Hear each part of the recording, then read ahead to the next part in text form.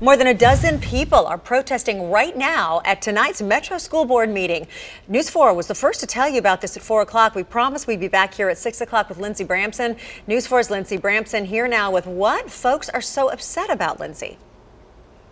Well, Tracy, people are telling me they want new leadership. So teachers, students, and parents all came out here tonight to voice their concerns. Now, right now, everyone is inside the school board school board meeting, which started about an hour ago. And we had teachers, parents, and students all holding signs and chanting things like "Ho ho ho, Joe's got to go." You can see right now what it looked like before the meeting started here outside, and they're referring to the director of schools, Dr. Shawn Joseph. More than 25 people all signed up to speak tonight during the meeting, many of them parents and teachers. And here's what one teacher told me just before the meeting started. I want leaders to know that they need to be respectful of us. Um, too many of us have left already. Um, some really great teachers. Well, we'll never see them again